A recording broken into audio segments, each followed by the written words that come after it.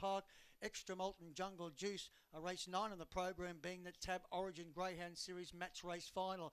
There's also some other big races tomorrow night the Origin Greyhound Series Sprint Final, race eight, the Origin Greyhound Series Distance Final, that's race seven.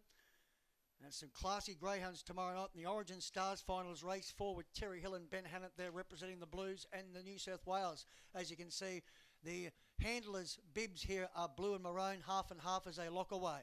The favourite here for race eight is qualified at $2 from the inside box for our only race over the 431 metres tonight. And they're all locked and loaded now. The green light is on and the lure rolls. This is race eight. We're just about set to go. Ready.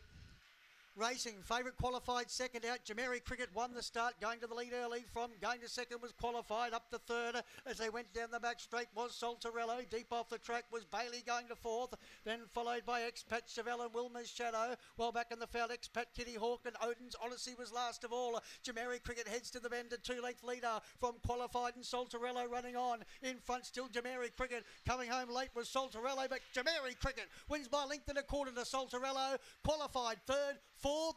Also, Expat Chevelle just in front of the fast finishing Bailey.